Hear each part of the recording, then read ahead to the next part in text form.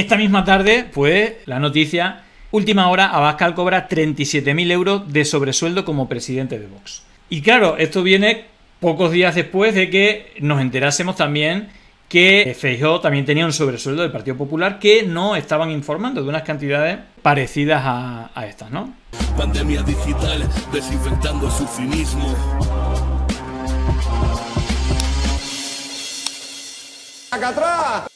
Vale, la afición que tiene esta gente con los dineros es, tremendo. Bueno, en 2019 declaró un sueldo de 55.000 euros del partido, ¿vale?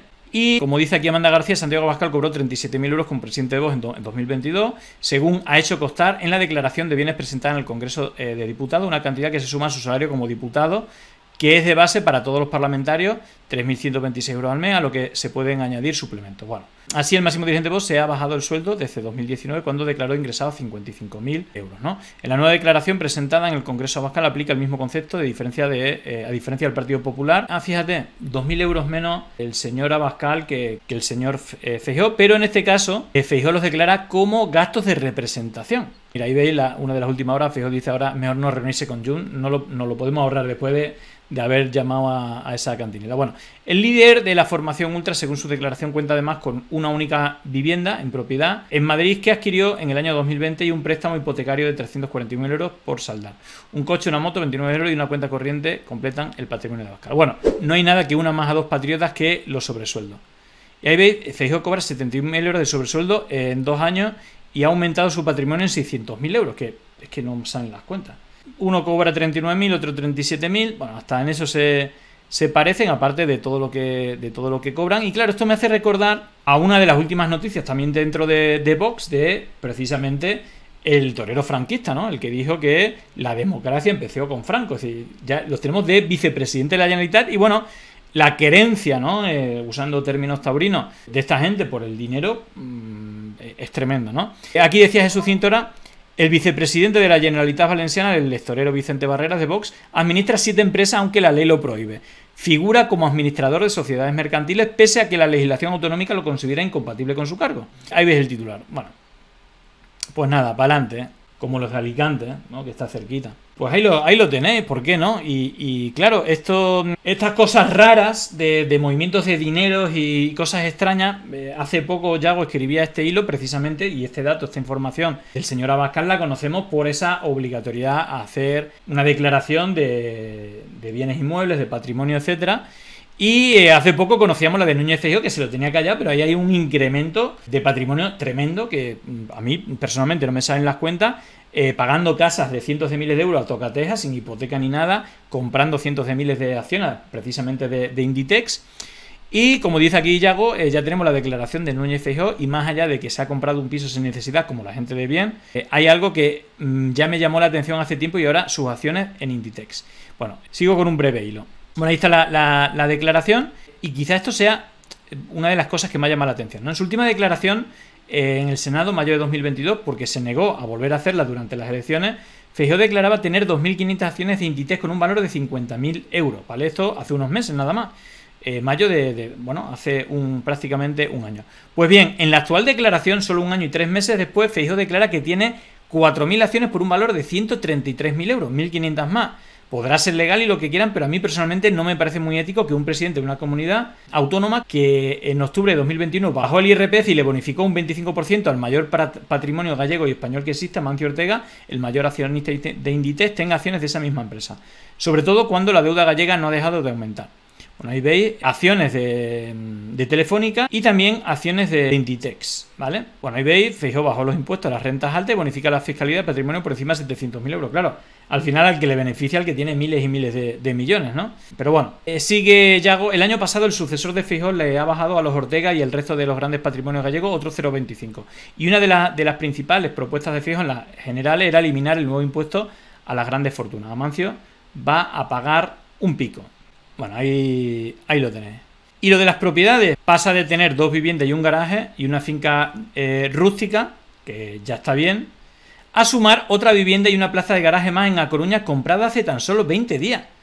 Y aparte tocateja, sin, sin declaración de, la renta. Ahí ves, vivienda el 11 de, del 8 sería de agosto. Pleno dominio, compraventa, ni hipoteca ni leche. Plaza de garaje.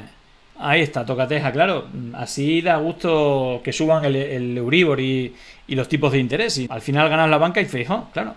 Bueno, pues ahí tenéis el listado de, propiedades y, continúa Yago, eso sí, sin hipoteca. Claro, así le puede importar bastante si su amigo de Guindos, que recordemos está en el, en el, BCE, suben los tipos de interés y sube el Euribor. En la declaración de deudas y préstamos no aparece ni una sola deuda.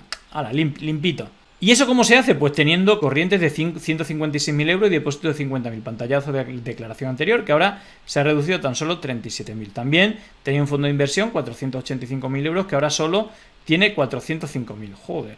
Es decir, Fejeo se ha comprado una vivienda a Tocateja hace tan solo 20 días, solo dos semanas después de darse cuenta de que no iba a ser presidente y tras negarse a actualizar su declaración de bienes en esa semana. Es decir, durante la campaña calladito todo esto y luego ya cuando ve que ni va a ser presidente, bueno, es posible que no haya elecciones, pues, pues bueno, al final eh, ha dado esos datos. Cuando se negó a actualizar su declaración de bienes, se filtró que cobraba extra del partido y hicimos este vídeo. Bueno, aparte de, todo esto. Bueno, de hecho, ya, que estamos con el, con el PP, eh, Carlos Manzón, eh, nada más entrar junto a Vox, pues también ha puesto el fin al impuesto a la muerte. Ojo, al impuesto de, sucesión. Se ha acabado para siempre el impuesto de sucesiones y el impuesto a la muerte en la comunidad valenciana. El cambio se cumple. Ahí lo tenéis. Y claro, no sé si os suena porque aquí ya lo hemos puesto. Le ponen aquí, bueno, eh, señor Mazón, esto está equivocado. Ni es impuesto a la muerte, ni es doble imposición, eh, eh, ni es necesario. Bueno, por aquí Javier Dura dice: Yo estoy a favor del impuesto a la muerte. En Madrid con Ayuso seríamos un multimillonario. Claro, no sé si os suena esto, pero aquí ya lo vimos. La película Vice, que yo la recomiendo de de Adam McKay, el que hizo No mires Don Look Up, No mires arriba, la película anterior, que es Vice o Vice, explican cómo funcionan estos think tanks, estos think tanks de Esperanza Aguirre, eh, bueno, Esperanza Aguirre, Donald Trump, Milley, toda la derecha de, los últimos años que está muy alimentado por estos think por la escuela de Chicago, la escuela de, Austria, de que las élites económicas pues no tengan que pagar impuestos y se forren. ¿Cómo, cómo financian estos think? ¿Para qué son? Bueno, pues para llegar a las palabras clave para que las mayorías, la gente que es pobre, se crea que quitando impuestos le va a beneficiar. Entonces, mm, hacen, digamos, tocan la parte emocional. Y en la parte emocional, pues lo que tocan, precisamente, bueno, pues con los focus group, etcétera, es qué palabras clave pueden convencer a gente que ni le va ni le viene, o incluso puede salir perjudicada de estos cambios. Bueno, pues en este momento de, la peli, por aquí dice Rafa Pacheco, el PP insiste en referirse al impuesto de sucesión y donaciones como impuesto de la muerte. ¿Por qué lo hace? En este fragmento de la película Vice lo explica. Bueno, precisamente después de varios focus group, ¿qué dirían ustedes si hiciéramos a, las personas más ricas un impuesto eh, a las sucesiones? Nadie vota, nadie dice de acuerdo, todo el mundo está en contra. En cambio, cuando dicen, ¿y si le ponemos impuesto a la muerte? ¿Usted estaría a favor de un impuesto a la muerte? Y entonces empiezan a levantar la mano. Bueno, veis aquí este think American for Tax Reform, que es una de los, de, igual que Heritage Foundation, pues uno de los núcleos de todas estas fundaciones, financiadas principalmente por empresas petroleras, que aparte de no pagar tasas, pues también luchan contra o pagan a expertos en neurolingüística para bueno, o incluso investigadores que escriban libros, investigaciones diciendo que no hay cambio climático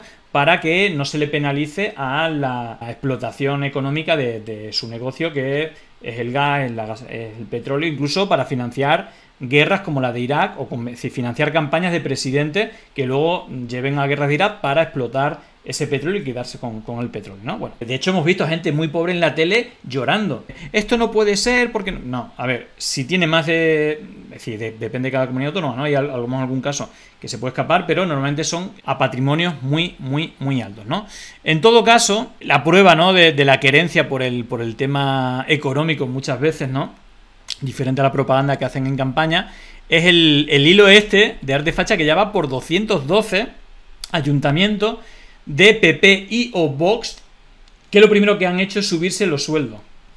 El último caso, Arroyo Molino, subida del sueldo del alcalde Luis Quiroga de 58.000 a 63.000 y los concejales de 50 a 57.000 euros, más de un 15%, cargos de confianza de 30.000 a 40.000, concejales de un ayuntamiento cobrando 57.000 euros y 41.000 los cargos de confianza, joder. Y eso que tiene un informe de desfavorable el secretario porque supera el límite legal. Bueno, pues ahí tenéis el, hilo 211, 210, bueno, ahí lo tenéis. Impresionante, eh, tremendo. Bueno, pues nada, ahí está, última hora vinculada con los tejemanes económicos de PP y Vox, que en temas económicos son muy, muy, muy, muy parecidos. Por no decir exactamente igual. Pero bueno, Llegó el momento de no estar callado, de desmontar inventos que vienen envenenados. Es contrainfo, que no es lo. Gracias por la suscripción, muchísimas gracias.